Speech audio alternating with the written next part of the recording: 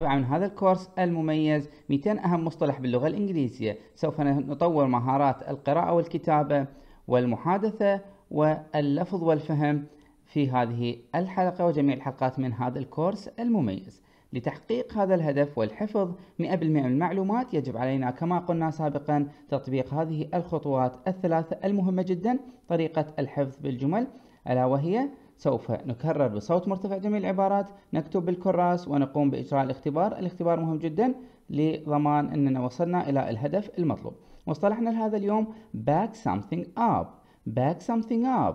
back something up. بمعنى reverse عكس أو تحرك في الاتجاه المعاكس أو حرك في الاتجاه المعاكس. reverse reverse. إذا مصطلحنا هو back something up. back something up. Back something up اقرأ معي الآن back something up back something up back something up back something up ممتاز خلينا نروح إلى أهم الكلمات اللي راح تمر علينا بالأمثلة على مصطلحنا back something up الكلمات هي get out get out أخرج أو يخرج get out get out جيد hard time hard time hard time. وقت صعب hard time. اقرأ معي hard time. هاي الكلمات راح تمر علينا بهذه الحلقة ولهذا السبب من البداية. أعطيك إياها حتى تفهمها من تجينا بالأمثلة ما هي معنى get out and hard time. احفظها جيدا. إذا مثالنا الأول على كلمة back something up back up الموجودة هنا في المثال يلا نقرأ المثال سويا you would have you would have to back up your car so that I can get out جيد سوف تضطر إلى عكس سيارتك حتى أتمكن من الخروج you would have you would have سوف تضطر to back up your car back up your car تعكس سيارتك تنقلها للاتجاه المعاكس تنقلها تحركها جيد so that I can so that I can get out فلنقرأ هذه الجملة خمس مرات حتى نحفظها باللفظ الصحيح You would have to back up your car so that I can get out. You would have to back up your car so that I can get out. You would have to back up your car so that I can get out. آخر مرة You would have to back up your car so that I can get out. ممتاز. خل نروح للمثال اللي بعده. المثال هنا عندنا Can you help me? Can you help me? هل يمكنك مساعدتي? Can you help me? I am having a hard time. I am having a hard time backing the van up to the door. هل تستطيع مساعدتي؟ أواجه صعوبة في إرجاع السيارة إلى الباب. فلنقرأها خمس مرات. Can you help me? I am having a hard time backing up, backing the van up to the door. Can you help me? I having I am having a hard time to backing the van up to the door. نقرأها المرة الرابعة. Can you help me? I am having a hard time backing the van up to the door. والمرة الأخيرة. Can you help me? I am having a hard time backing the van up to the door. ممتاز. قرأناها الخمس مرات. الآن فلنستعد إلى الملخص وبعدها الاختبار لهذه الحلقة جيد عندنا الملخص back something up هذا المصطلح المر علينا حفظنا معناه back something up المثال الأول كان you would have to back up your car so that I can get out. المثال الثاني كان can you help me? I am having a hard time backing the van up to the door. جيد؟ الآن خلينا نبدأ بالاختبار. طبعا بالاختبار بإمكانك إيقاف السؤال إيقاف الفيديو والإجابة على السؤال وكتابة الإجابة ومن ثم الاستمرار في السؤال. بعده عندنا أربع أسئلة فقط. أربع أسئلة مهمة سوف نختبر كمية الحفظ لنا في هذه الحلقة أنا وأنت سويا. جيد؟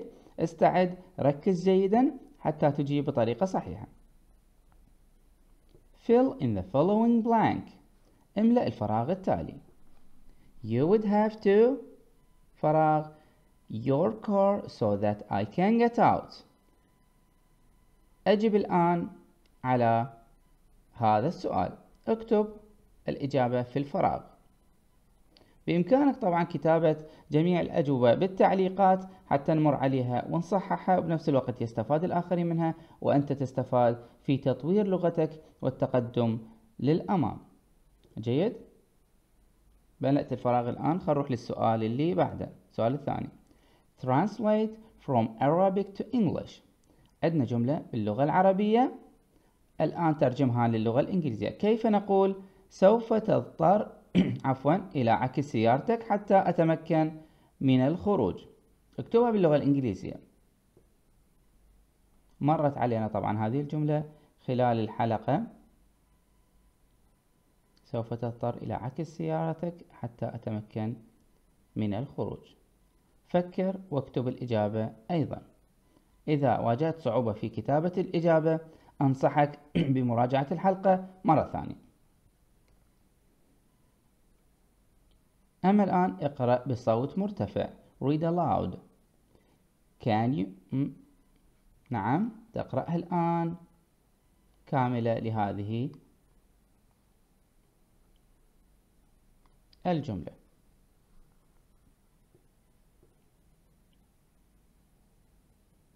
إذا قرأتها بالطريقة التي سوف أقرأ بها الآن فأنت قرأتها صح وإلا أنصحك بتكرارها خمس مرات بصوت مرتفع حتى تحفظها بشكل جيد Can you help me? I am having a hard time backing the van up to the door جيد؟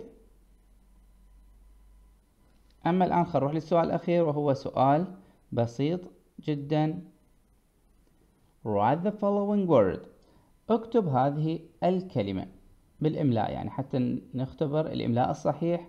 لك جيد. Back something up. Back something up. اكتبها الآن في كراسك. Back something up. جيد. إذا واجهت صعوبة كما قلت في الإجابة راجع الحلقة من البداية حتى تحفظ بشكل جيد. أما الحلقة القادمة سوف نأخذ مصطلح جديد blow up blow up. سوف نشرحه بالتفصيل نأخذ أمثلة عليه ونحفظه بشكل صحيح. أنصحك أنه تتابع الحلقات من بداية الكورس إلى الآن وكل يوم راح يكون عندنا حلقة أو حلقتين حتى نستمر لتحقيق هدفنا اللي هو 200 مصطلح باللغة الإنجليزية. أهم المصطلحات اللي راح تساعدك وتطورك وترفعك إلى مستوى أعلى في اللغة الإنجليزية. إذا لا تنسى الضغط على إعجاب لهذا الفيديو والاشتراك في القناة وتفعيل زر الجرس حتى تحصل على جميع الدروس. أما الرابط كامل لهذه الحلقة تجده في مربع الوصف أسفل هذا الفيديو.